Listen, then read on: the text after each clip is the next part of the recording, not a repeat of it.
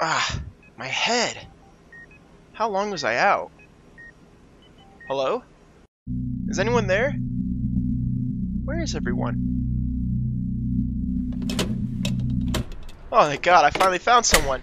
Hey, Keep it down, the infected might hear you. the infected. Take a look for yourself, kid.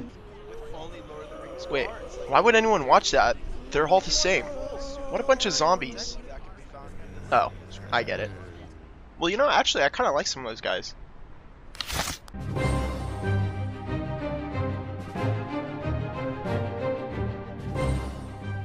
Welcome back, Planeswalkers. How you doing? How you doing? You're watching the Mana Moot channel, the only place on YouTube that gives you the ultimate deck list. And today, we're continuing our viewer requested commander with Ghost of Ramirez de Pietro and Tormod the Desecrator. That's right, we have partners for today's commander video, and boy do these cards form a dream team.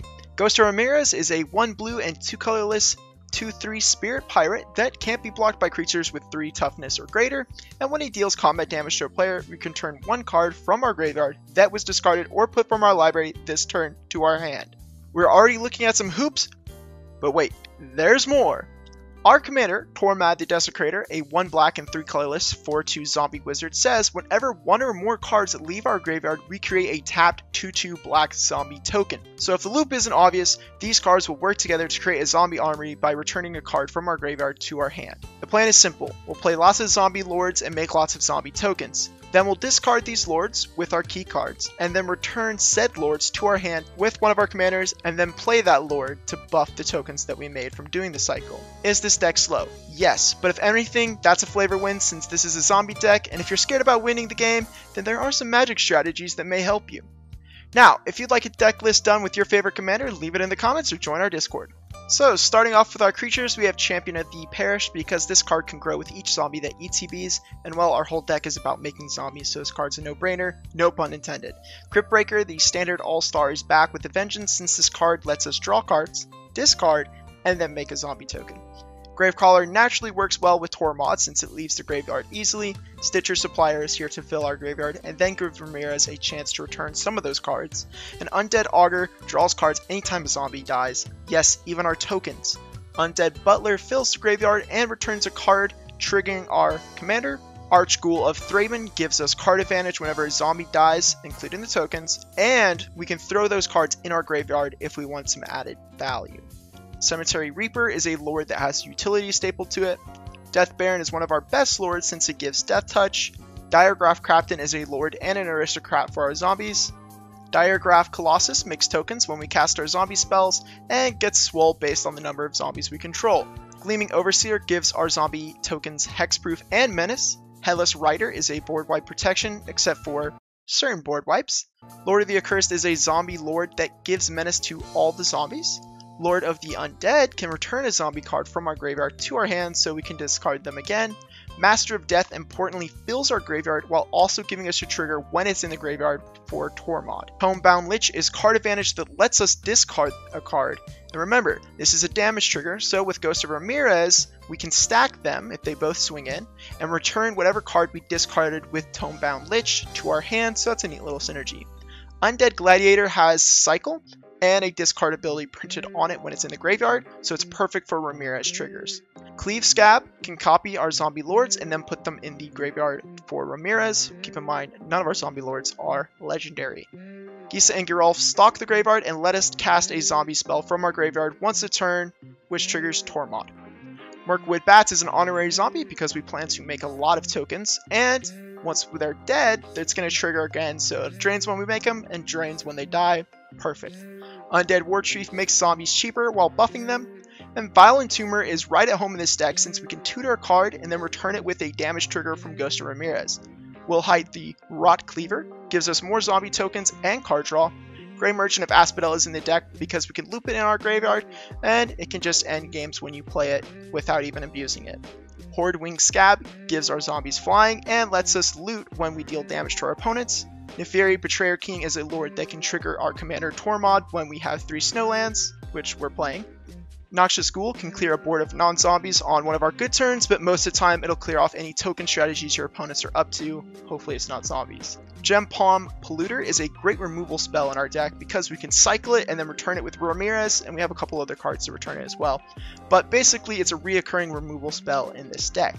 Lastly, Grave Titan because we love zombie tokens, and this thing pumps them out while also having a sizable body to swing with. Now we are playing two Planeswalkers, but I'm also going to throw in one of our battles in this slot. So first we have Liliana, Untouched by Death, to play zombies from our graveyard primarily, but also it's plus one, just mills cards, which is perfect for Ramirez, and its minus is removal, so that's always, you know, situational and good most of the time. Liliana, Dreadhorde General, because it makes tokens, it removes them and then draws those cards while doing so.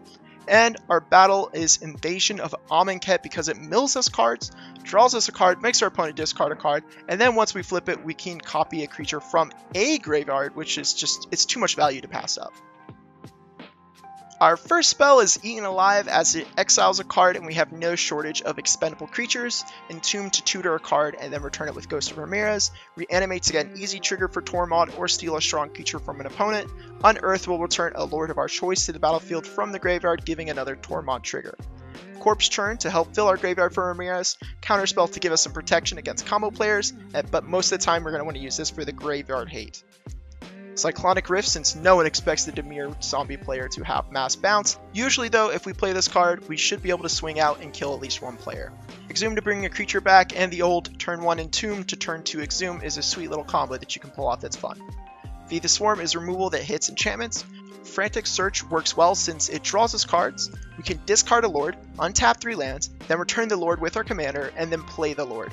Or worst case, discard a counter spell, get it back, and then have the untapped mana to basically play it on our opponent's turn. Speaking of counterspell, we play Saw It Coming, but feel free to insert the counterspell of choice in this slot like Mana Drain. Victimize is a sweet card as we could sacrifice a token and then return two creatures from our graveyard to the battlefield. Now, for our artifacts and enchantments, I'll start with the ramp. We have Soul Ring, Arcane Signet, and Dimir Signet, mm. followed by Thought Vessel, Crowded Crypt for extra tokens in the late game, and Heraldic Banner on black most of the time for a board-wide buff. Now, for our graveyard strategies, we have Phyrexian Reclamation to return a creature to our hand, Mask of the Schemer to connive away cards to the graveyard, Tortured Existence to return more creatures to our hand while giving Ramirez a card to target. Necromancer's Stockpile is a discard outlet that makes zombie tokens. Cemetery Tampering is an easy way to fill our graveyard every turn, and then later it gives us a free spell. Grimoire of the Dead as a discard outlet that can turn into a Rise of the Dark Realms. Now for random includes, we have Lightning Greaves to give haste to Ramirez or Grave Titan, Wand of Orcus gives Death Touch to our zombies and the attacker, plus we make a lot of zombie tokens when that creature deals damage. Endless Ranks of the Dead will double our number of zombie tokens. Necroduality also doubles our zombies in a way, but it's really just copying our non-token zombies when they ETB. And Rooftop Storm makes all our zombie spells free, and we'll finish off this section. For the mana base, do what's best for your budget, but feel free to copy the mana base in the deck list found in the description of this video. Good lands to include are going to be Crypt of Agadeem, since we plan on filling our graveyard with a lot of creatures, and Unholy Grotto as a easy way to basically trigger Tormod. Now there are no combos in the deck. I kept this list tame compared to my Scarab God list, which does include zombie combos, so if you want to see some zombie combos, you can always check that video out. But if you do want to include an easy combo in this deck, it actually only needs one card, and that's a Sacrifice Outlet. For example, Carrion Feeder, it's a zombie, it grows, perfect for this. So what happens is, you can loop your Gray Merchant with Liliana Untouched by Death and Rooftop Storm infinitely to drain the entire table. So as long as you have a Sacrifice Outlet in the deck, you can do that. That's going to do it for today's video, and I do hope you guys enjoyed it. Let me know how I did in the comments or ramble about the lack of the One Ring in the deck list. I'll be seeing you in the next video. Peace.